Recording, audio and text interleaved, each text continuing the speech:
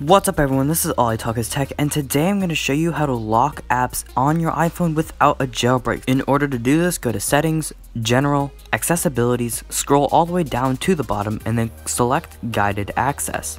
Now you're going to see a bunch of options pop up, click on passcode settings, and then you're going to want to set a passcode. So I'm just going to do 123456 because that's just the easiest one I can think of right now. Now you're going to want to find the app that you want to lock. So I'm just going to go into the calculator. So let's just say a friend asked, hey, I want to use your calculator. I can just give him my phone freely without thinking that he's going to go through my stuff because I can lock it by triple clicking the home button and then clicking guided access. Now you're going to see a screen where you can select the areas you want to block off. So you can draw shapes and these areas will be blocked off and will not work if you try to touch them. So I'm just going to put it over the equals sign just to totally mess with them if they do use it and then boom you're going to want to click on set and you can see this actually makes a kind of funny prank because if they're trying to use the calculator app it's kind of pointless if they can't even enter the equation in. So the only way to fix this is by triple clicking the home button and then click on guided access one more time and you can either use your fingerprint or just type in that password again and then boom it's going to be unlocked with the screen.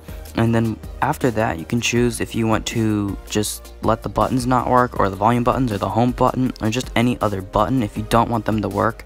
And yeah it's pretty cool so if you don't want the keyboard to work in a certain app, you can just toggle that off.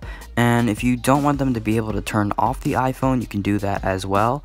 And yeah so it's pretty cool and this will actually work in the photos app. This is the main app i recommend it in. Just so that way if you want to show someone one photo they're not able to scroll through your full photo library if you block off the full screen. So you can see i can block off the entire screen. And now nothing works. So because i disabled everything if they try to turn off the phone tap the screen click the home button volume button any of that they're going to get this little message at the top of the screen saying that i do need to type in the password or use touch id so that is the only way to fix this so triple click the home button, click on guided access, and then just type in your password. Now the reason you didn't see me type in my password right there was because I used Touch ID. Guided access is also really important if you want to give someone your phone so if they need to make like a phone call or something, if they're a complete stranger, you can do this and help them out. Now personally, what I would do is I would block all the buttons at the bottom and I would block the add new contact button just so that way they can't see who I have in my contacts or anyone's number so that way they can't keep it and do weird stuff with it. So that's going to be about it for today. Thank you so much for watching. I got a bunch of amazing videos coming up so stay tuned for those and I'll see you in the next video. Peace out.